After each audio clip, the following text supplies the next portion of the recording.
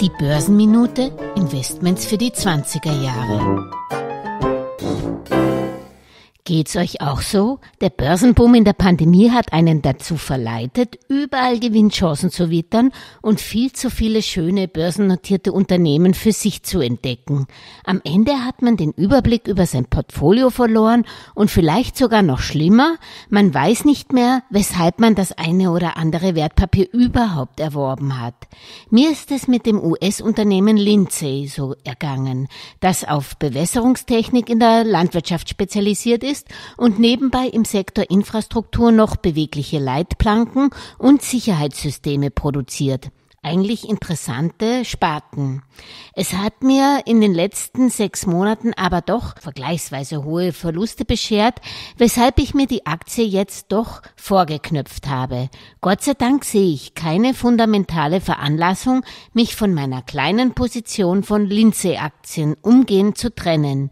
Sie hat nur den Nachteil, dass die Marktkapitalisierung an der Börse gering ist und das Papier deshalb so stark schwankt. Bei der nächsten guten Gelegenheit werde ich mich aber von dieser kleinen Position in meinem Portfolio trennen. Nicht, weil ich an Lindsay nicht mehr glaube, aber um mich wieder auf wenigere Wertpapierpositionen zu konzentrieren, die ich dann auch im Auge behalte. Vielleicht kennt der eine oder andere von euch noch die im September 2020 verstorbene deutsche Börsenoma Brigitte Sander, die ehemalige Lehrerin, die erst in der Pension sich mit Aktien beschäftigte und zur Millionärin wurde, hat Aktien regelrecht gesammelt und stolz ihre über 100 verschiedenen Wertpapiere präsentiert. Ich hatte noch das Vergnügen, sie auf einer Finanzmesse in der Wiener Hofburg moderieren zu dürfen. Sie hat mich wirklich mit ihrem Wissen und ihrem Enthusiasmus für Aktien tief beeindruckt. Nur so viele verschiedene Aktien zu besitzen, abgesehen davon, dass man da auch schon ein stattliches Vermögen besitzen müsste, macht doch aus der Sicht der Risikostreuung keinen Sinn mehr mehr.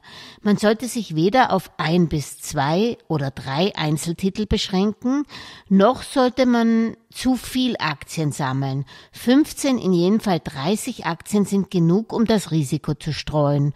Und für die schmale Geldbörse empfiehlt sich, ohne dies für die Diversifikation in einem Fonds oder Aktien-ETF zu investieren, mit dem man schon in 30 bis 1600 verschiedene Aktien auf einem Schlag beim MSCI World investiert ist.